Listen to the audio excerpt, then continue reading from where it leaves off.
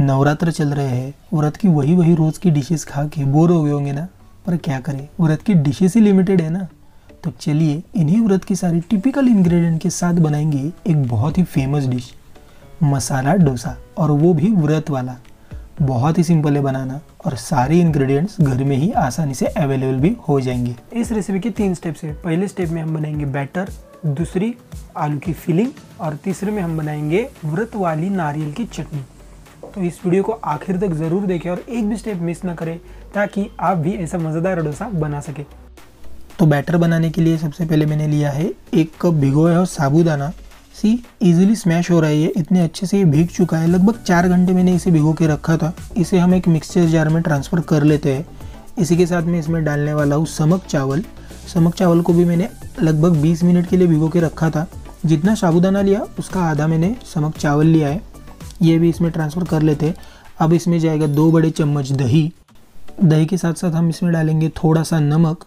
नमक मैंने सेंधा नमक लिया है। You can also add regular salt instead थोड़ा सा पानी ऐड कर लेते हैं और इसे कर लेते हैं अच्छे से ग्राइंड अब ये जो बैटर है हम हमारे रेगुलर डोसे का जो बैटर बनाते हैं उतना थिक तो नहीं बनेगा। पर आप जितना हो सके उसे इतना थिक बनने की, की कोशिश करें। पर कंसिस्टेंसी जो है वो फ्लोइंग होनी चाहिए। वीडियो के अंत में मैं इस बैटर को बिना साबुदाना भिगोए बस पाँच मिनट में कैसे तैयार करें ये बताऊँगा। तो इस वीडियो को आखिर तक ज़रूर देखें तो चलिए, बैटर जो है हमारा बन गया है तो बढ़ते हैं नेक्स्ट स्टेप की ओर, यानी कि आलू का मसाला। अब रेगुलर डोसा सब्ज़ी जैसी बनती है ऑलमोस्ट वैसे ही बनेगी। बस जो इंग्रेडिएंट्स व्रत में नहीं खाते, वो हम स्किप कर देंगे। पैन में मैंने थोड़ा सा तेल गरम कर लिया है।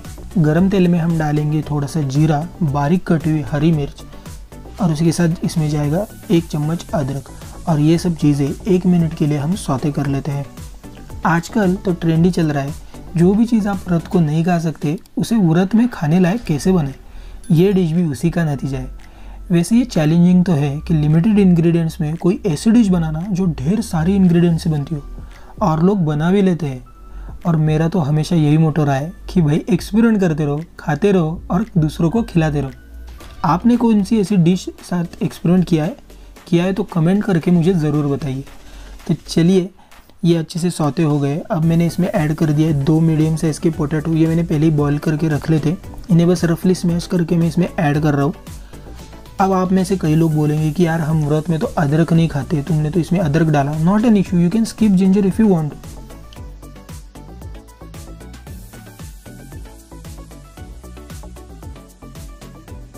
आखिर में ऐड कर रहेंगे इसमें थोड़ा सा नमक।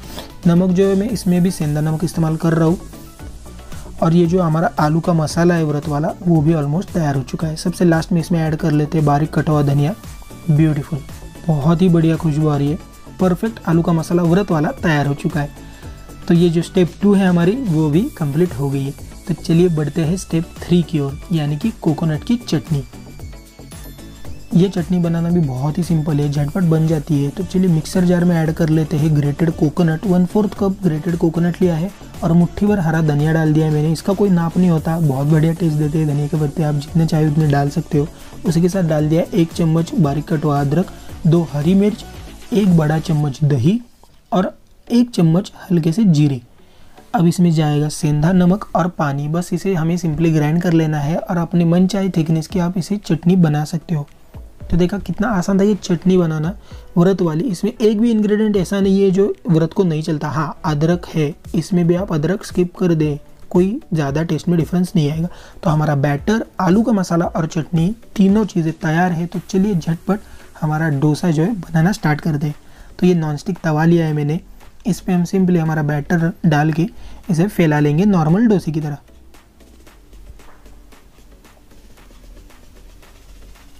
ब्यूटीफुल। आप करछी की जगह कटोरी से भी इस डोसे को फैला सकते हो, या फिर उससे भी आसान तरीका है कि पैन ले, उस पैन में बैटर डाल के, उस पैन को ही स्वर कर ले।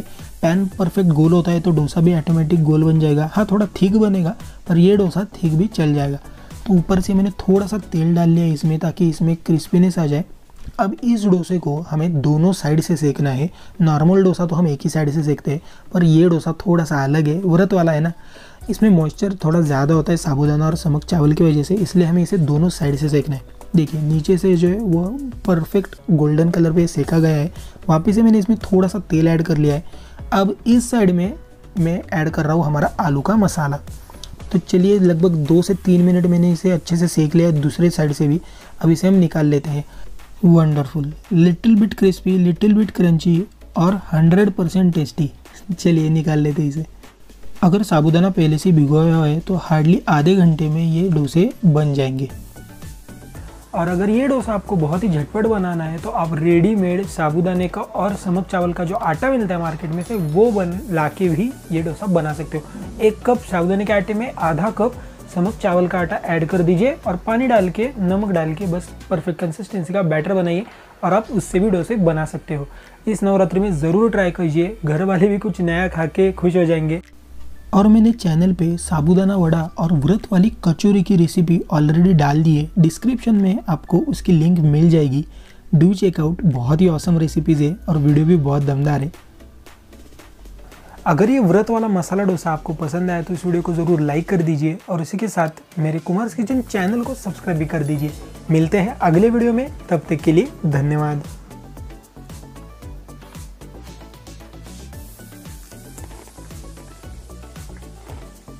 うん。うん。